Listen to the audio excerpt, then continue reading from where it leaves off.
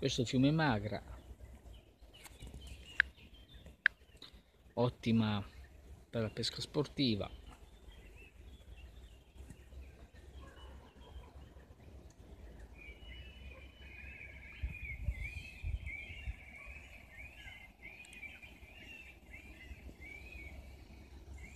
Area pescatori